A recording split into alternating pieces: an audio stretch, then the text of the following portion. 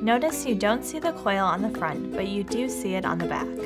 The first step when applying a zipper is to iron the zipper coils. Set the iron on the synthetic setting. Open the zipper and place it on the pressing surface with the back side up. Press the coils away from the tape. Pin the right side of the open zipper to the right side of the fabric. Using the zipper foot, place the right side of the foot against the coil. Move the needle position if needed to sew along the line in the tape that is about an eighth of an inch from the coil. With a straight stitch, sew down the zipper until the foot touches the slider. Pin the right side of the zipper to the right side of the other piece of fabric.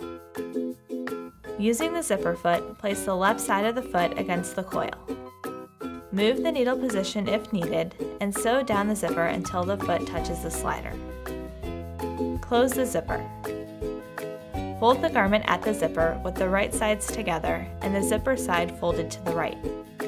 Pull the bottom ends of the zipper out of the way and lower the needle by hand to about an eighth of an inch to the left of the last stitch. Lower the foot and finish the seam.